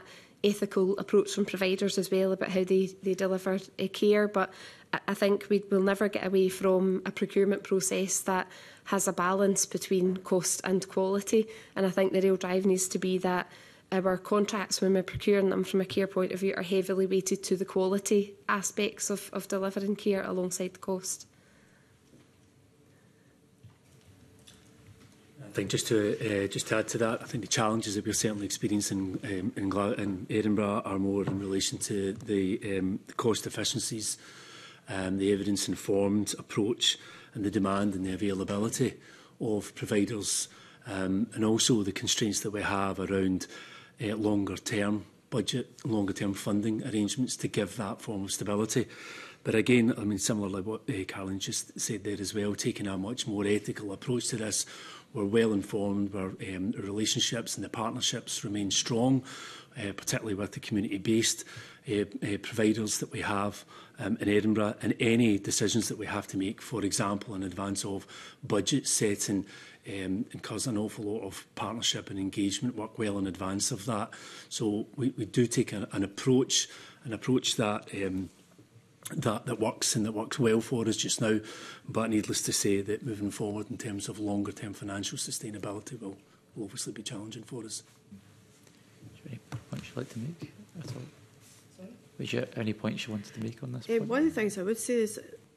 um, you know, we actually use a lot of um, people with lived experience as part of that process um, when we are going out to commissioning, and their uh, contribution is very much valued, and they are very much part of that process. And I definitely think that is a direction of travel that we need to do more of going forward, because I think those people and their experiences is actually really what matters, and to make sure we get the right services uh, for people going forward. So using people's um, experience of um, service delivery and what they would like to see and what they think works um, and taking all that into part of the process is really key. Thanks Point and strong examples of innovation were highlighted in the Accounts Commission report. Um, how could these efforts be better supported? Are there barriers to benchmarking, learning from other IGBs, levelling up, if you like, um, and, in sort of uh, looking to promote the best practice across the country um, as standard? How does that function at present? Or is there too many silos, too much um, fragmentation? I think from an IGB perspective, it very much doesn't feel as if we operate in silos. We do proactively go out and look to, to those areas that are um, taking forward improvements to learn from them. Our teams are frequently linking in with colleagues from other partnership areas to do exactly that and learn. And I think the other um, support that we get is from our, our colleagues that are, are close by. So being within North Ayrshire, we work, we work really closely with our IGB colleagues in East and South Ayrshire to, to share, learning and collaborate where that's appropriate as well. So we, we do do um, we do deliver and take forward projects and initiatives together rather than going it alone all the time as well. So I, I, I do think um, there's probably more we could do in that space. There always is. I think there would be across any organisation. You know, there's still opportunities to learn, and I think areas are continuing to innovate and take forward different transformation um, programs that we'll continue to, to link in with around. But I suppose it's just to provide a reassurance that we, we absolutely do do that proactively um, to seek out learning from others um, and where we can implement that locally ourselves, where that's appropriate, because it's not always appropriate uh, for our own local need or services. The, the, um, and, I, and I did note the comments within the, the report that uh, collaboration was, uh, has got the potential to be somewhat stymied, just given the pressures that people are under. Um, and, and I would recognise some of that, but I perhaps don't completely recognise that there's a lack of collaborative working across uh, chief officers um, in Scotland. Um, there are, uh, I think we have more of a requirement now than ever before to be much more outward looking. I think there's um, excellent examples of how we're doing that across Scotland. Um, for example, in Edinburgh just now, we're looking at redesigning the front door of the service and the access point to the service the model that we'll come up with will not be simply based on um, an executive team sitting in a room in Edinburgh and coming up with those suggestions. It will be about looking wider.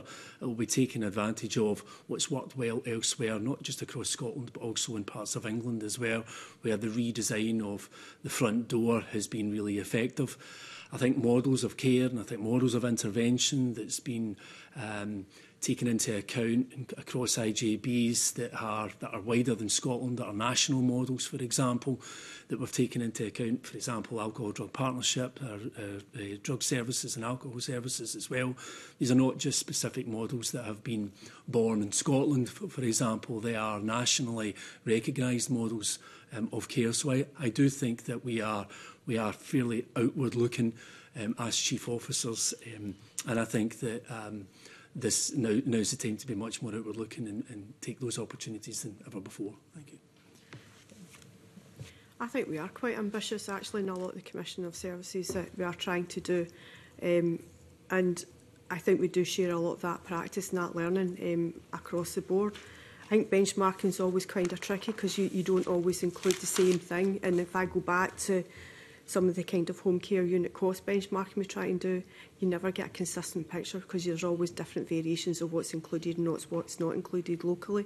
But I think there is a lot of, of ambitious new services that we are trying to do, and I think we need to keep on doing that. And we do share a lot. Um, equally, as, as Caroline said about working in Ayrshire, we, know we work quite a, uh, collectively together across Greater Glasgow and Clyde, and we do share what others are doing, and where appropriate, others you know, go and look at it and, and go and deliver it. Um, and I think that's really important to try and do that. We had discussed the sort of pressures on prevention, um, and given the financial constraints faced by IGBs, it is a challenge to reconcile, um, as has been discussed, and that commission decisions are often made based on which provider offers lowest cost, but that can also have a deadening effect on quality and innovation. The, the answers from the previous panel was more resource, particularly in, in rural areas, that can be quite challenging. Um, but did the panel have other views on how we can empower IGBs to look beyond cost um, and consider longer term benefits of investing in innovation uh, and prevention as part of budget decisions? For example, in Glasgow, there was a decision to cut a transition from custody service, which clearly is going to, as a result, back up in the prisons um, and cost the country more money in the long run. So how do we, for example, avoid those kind of short-termist reactionary decisions in future planning? really honest, I think it's going to be really difficult to do that in the current financial climate that, that we're operating in. As I described, our IGBR in the process of, further developing and refining a recovery plan, which will see us take a significant amount of resource out of our care at home service, for example, even though we have people that meet that threshold and criteria in the community on a waiting list, and we obviously have a delayed discharges as well, and, and I wouldn't even class that as an early intervention and prevention service. So it, it feels like the, the opportunities around efficiencies, around some of the early intervention approaches have, have, have been passed in previous years and we now are at the really critical things. I think um, from a leadership perspective, it, it's really for us as chief officers to make sure that our IGBs understand the implications of some of the decisions that will be required to reach financial balance and is that decision about the priority of meeting the financial pressures that we've got and the, the pressures um, on our communities. And I, it's not lost on us, I suppose, some of the missed opportunities and some of the things that we do have from an early intervention approach that we, that we celebrate in terms of the outcomes they deliver for people. But when it comes to providing life and limb critical and substantial need services to individuals, those are the, the elements that we do have a choice in whether we deliver or not. And I think that's the hard reality that, that we are all, all facing just now. Just a, uh, on that point of empowerment, uh, uh, how do you articulate the absurdity, if you like, of the decision you're being faced with? How does that communicate to the wider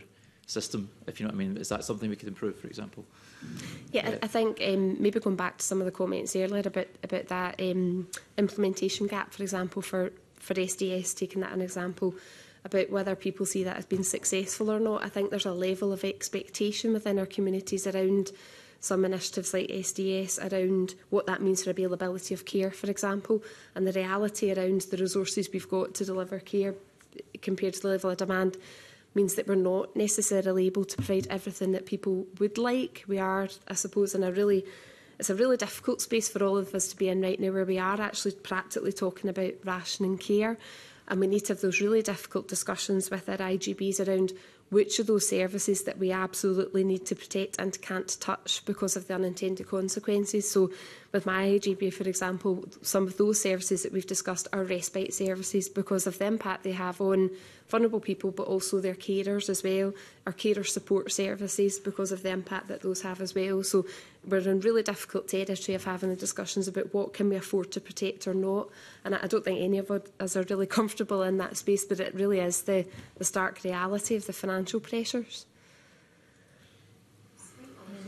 As well, if just gone over time and I've still got another member who's got questions so if you could be quite concise, Ms Yeah, I was just going to say there are examples like we've got family support services in Glasgow which actually prevent children going into higher level of care and needs and costing us more money. And I think it's doing more of that work that's going to be key for us going forward. Thank you.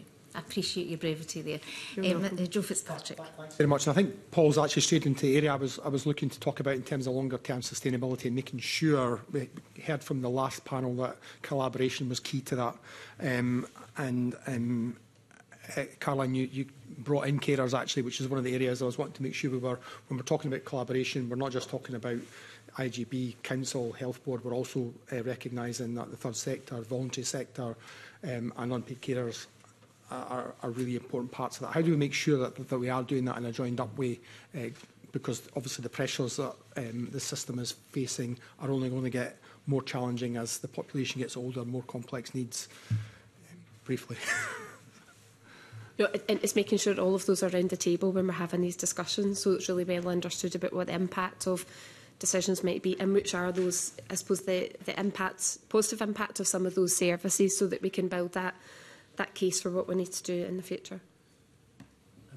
Just to add, um, I think I touched on it earlier on. The, the scale of the savings uh, plan, for example, in Edinburgh required a, an enormous amount of work into and collaboration, and I don't think we would ever have had a budget approved to that extent had they not demonstrated really sound collaboration. So what I mean by that is not just the delegated services. There's a whole suite of non-delegated services. There's our carers, for example um, as, as well, um, and third sector um, partners as well. So there's a collaboration with all of that well in advance of making those types of decisions, because there is an impact. Very, very quick. Maybe, maybe Sharon can answer this one. Um, the other side of it, we've talked about finances a lot in terms of that long-term sustainability. The other side of it is workforce planning and the challenges. We know that the service was really impacted by Brexit. Um, are we getting over that? Are we managing to start um, recruiting, or is it still a real challenge not being able to, to, to have the full range of people who would want to work? Still a real challenge, and if actually, if anything, it's actually got worse. Okay. Um, from where we are sitting post-COVID, um, really challenging to recruit and retain staff right now. Thank you. Thank you. Can I thank the panel for um, staying on slightly longer than, than anticipated? I appreciate who have a very busy jobs and we really do appreciate the evidence that you've given us today. Um, at our meeting next week, we'll undertake scrutiny of the Scottish Government's current review of the national outcomes as part of the National Performance Framework, and that concludes the public part of our meeting today.